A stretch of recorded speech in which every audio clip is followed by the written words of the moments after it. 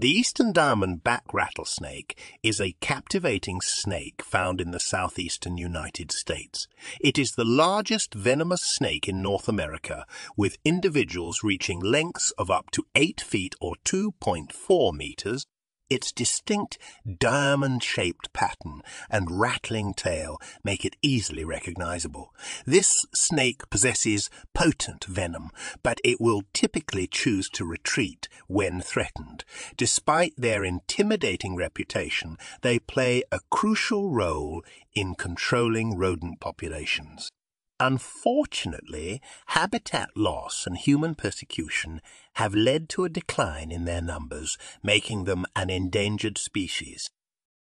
Comment down on which snakes would you like us to feature next.